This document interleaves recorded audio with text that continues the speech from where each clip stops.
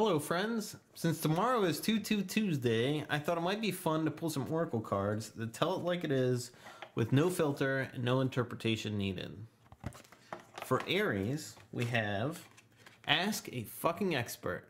Don't rely on your friends or the internet. Listen to a damn professional. For Taurus, we have You think someone is lying. They are. For Gemini, we have make better fucking choices. If you're pissed at where you are, then stop taking yourself there.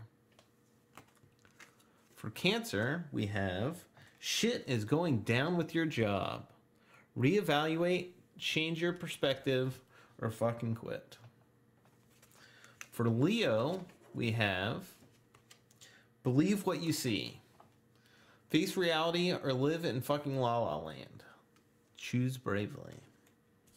For Virgo, we have You are loved. You are here for a reason. Don't fuck it up. Oops. For Libra, that's me. We have Fuck Fear. It will lie to your face. And for Scorpio, we have Eat your fucking vegetables. Eat some shit made by Mother Nature. For Sagittarius, we have Stop fucking whining. No one wants to listen to that shit.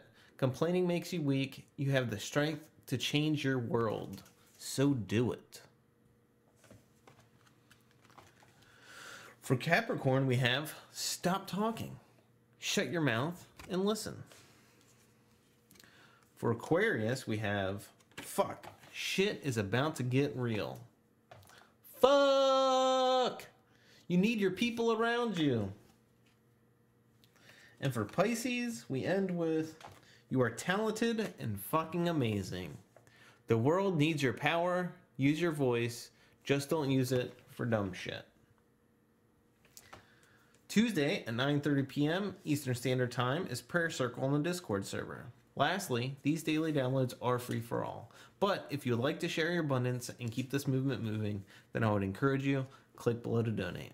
Thanks.